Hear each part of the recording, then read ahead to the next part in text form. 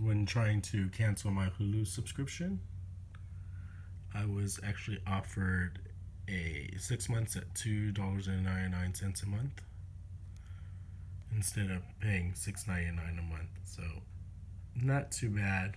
Netflix won't offer me this if I want to cancel.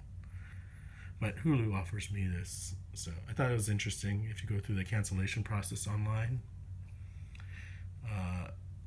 It'll bring you to the screen asking you if you're ready to cancel or not, and they'll offer you two ninety nine. Well, you could also pause your subscription instead, which um, maybe I might do that. I'm not sure.